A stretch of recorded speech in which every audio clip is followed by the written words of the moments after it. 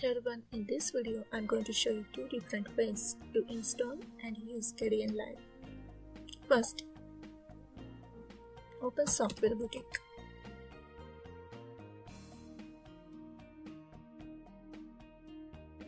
Now click on Sound and Video. Scroll little to see Kdenlive option.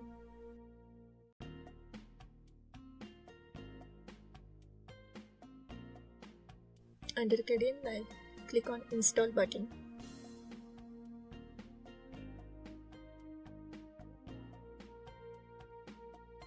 Then click on Queue option.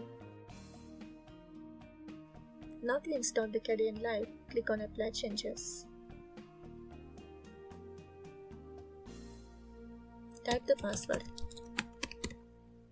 and click Authenticate and it will get installed on your system.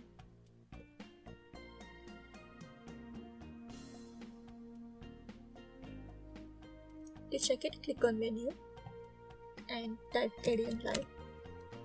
Click on it. To check the version, click on help and click on about Kdenlive. You can see it is the latest version. As I said, there is another method to install the Kdenlive. So let's see that one. For this method, you have to go to their website. Then click on download.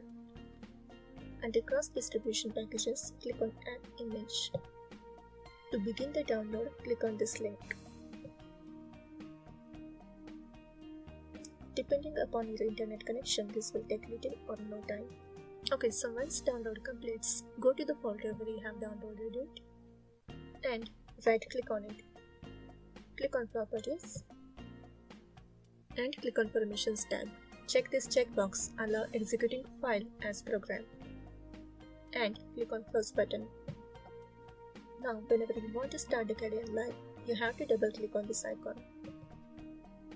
You can see our application is ready to use. So using these methods, you can install Kdenlive on Ubuntu. In the next tutorial, we are going to see the interface of Kdenlive. Thanks for watching. See ya.